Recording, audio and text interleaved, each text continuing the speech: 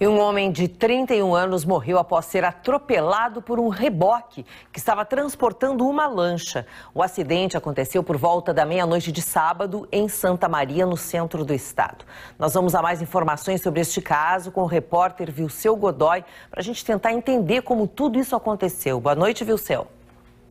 De acordo com o registro na DPPA, Pablo Melo Farias estava no banco de trás de um jipe que era conduzido por um jovem de 22 anos e teria tentado passar para onde estava a lancha com o veículo em movimento. Ele acabou caindo e foi atropelado pelo reboque. O acidente aconteceu no cruzamento da Avenida Medianeira com a rua Floriano Peixoto. Ele não resistiu aos ferimentos e morreu no local. O caso está sendo tratado como homicídio culposo, quando não se tem ainda intenção de matar. O velório de Farias foi realizado na tarde de ontem em Santa Maria, mas no fim do dia o corpo foi encaminhado para o crematório de Santa Rosa. Viu seu Godoy de Santa Maria para o Jornal da Pampa.